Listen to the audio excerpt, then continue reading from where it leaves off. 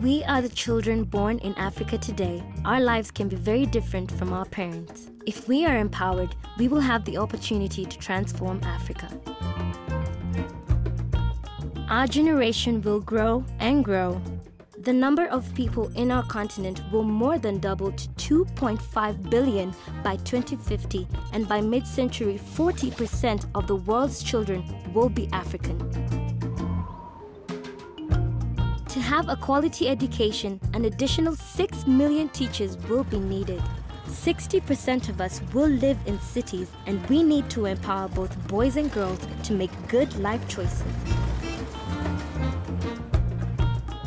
Educated women delay pregnancy and are less likely to be forced into marriage or motherhood. They make education a priority for themselves and their children. More people working with fewer dependents can accelerate economic growth, resulting in a demographic dividend. We are Generation 2030, and we can ensure that Africa's growth serves all of its population.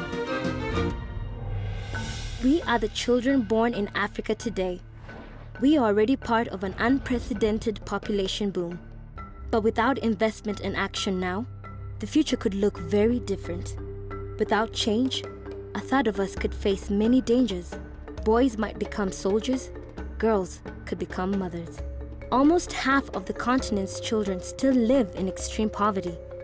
Investing in children can change this. For example, by 2030, to keep up with the population increase, Africa will need an additional 4.2 million health workers. Otherwise, too many children will die before their fifth birthday.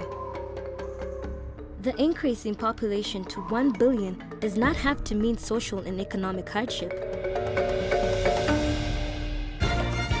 Africa has a chance to get it right.